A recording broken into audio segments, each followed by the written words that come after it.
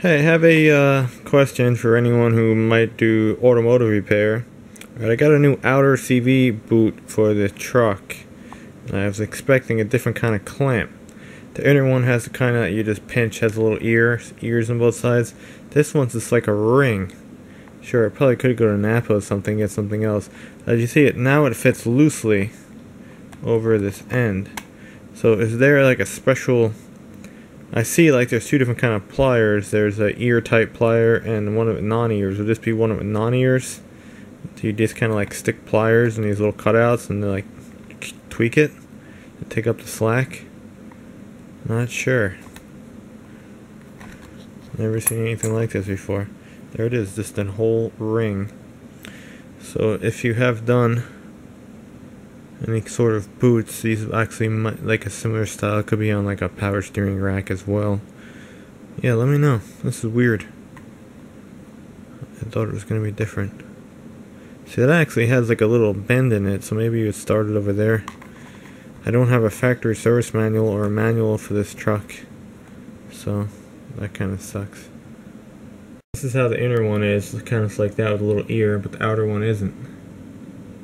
I don't know. They make like these kind of pliers. See, earless type, but I'm not sure how this would crimp it.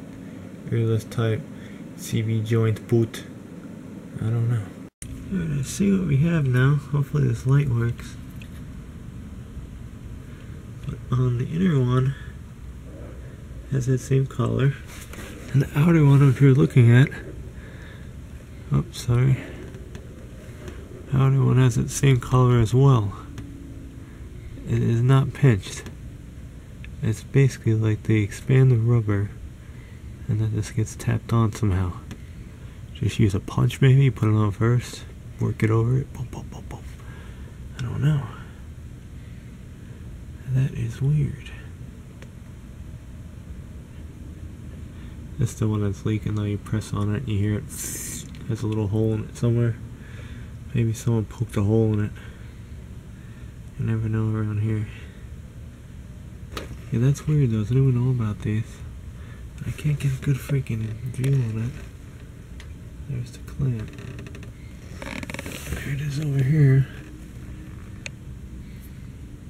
It's there's nothing that's pinched like the inner one. The inner one has that little pinched. Oh, so does that one. That one's easy. Unless worse goes to worse, I just go to the parts store and get uh, little clippy do kind of thing like, like a pinch in case that doesn't work out. I don't know. I don't know. Sure making a mess. Never seen anything like that before. So I don't think there'd be like a special tool that you put this whole half shaft in to press down on it because I don't see any teeth marks or nothing. And again, the whole whole way around it, there's nothing that's pinched. Huh. Or I get a normal one, I have room for it, and I just crimp it. So back up. Ah, never mind. I guess they were doing this for a while. Check this out. Same thing. Get a ring, get the clamp. They got this stupid special tool that you put the shaft in, and I guess it somehow seals that. That sucks. Now we gotta get the other style. Nothing ever works out the way you want it. But this is called, what the hell, Swage Ring Clamp. That's what they call it. Damn it. That, you can buy the special tool for 60 bucks used. I guess you just tighten down this shit and it moves that ring. Cool. I can just get two of the regular rings, which I'll probably do. So there goes General Motors screwing over the operation again. You gotta make everything difficult. That stuff. I that stuff. That's so freaking weird. Yeah, that just pops right in on that side. This is 1994, but same style. They didn't change shit. Shaft breakdown. yeah, you can get that. Like you said, I think I made a video of it for seventy dollars. Not buying it though. Nuh-uh. Oh, look.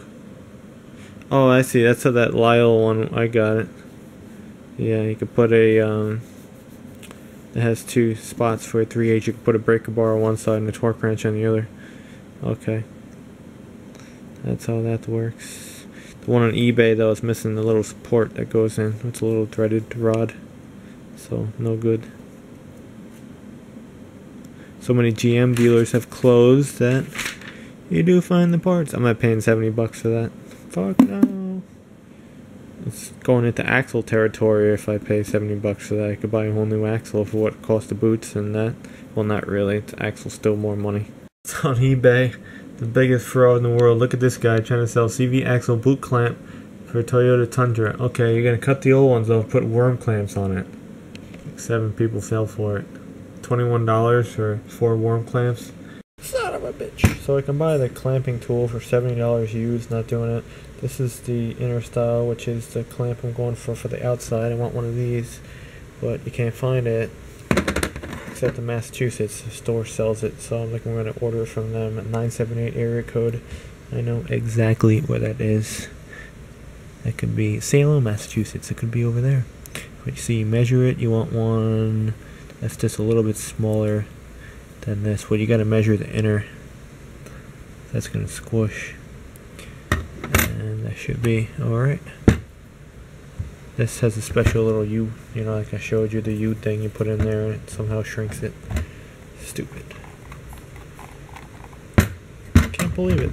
Nothing's easy. And you see that brand? OET, I don't know, O O ticker. I don't know how to say it. Blah blah blah blah. Kurip Kur Kim Kimping Raw Nange. Um, yeah, but they make these clamps. I believe the clamp I have it says OET on it. It's probably the same company, so you need something like that, and they're hard to come by. I'll go run around town and call up. Maybe someone has a clamp like that, or CV boot, or ear clamp. I don't know, but that's the brand right there. Hard to find. Stainless. That's about what it is.